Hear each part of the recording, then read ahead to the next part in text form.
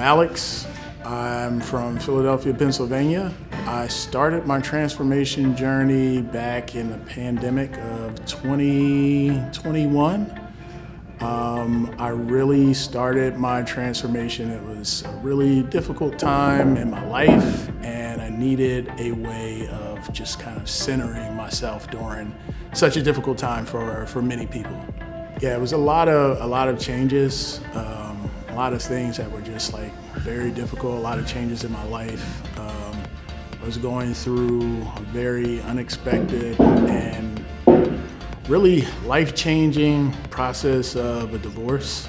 Um, and it, for me, came out of nowhere, very like unexpected and just kind of planning my life for a specific way is such like a dramatic change to happen. You know, I work full time. I was going to grad school at night, uh, having a second child at the same time, like a newborn son, and dealing with all these transitional changes. Just a lot of a lot of ways of how to figure out how to get my feet grounded. It just felt like everything was slipping from me, and like I was getting closer and closer to like a cliff. Is really what it felt like. I would say you're much stronger and tougher than you really think you are.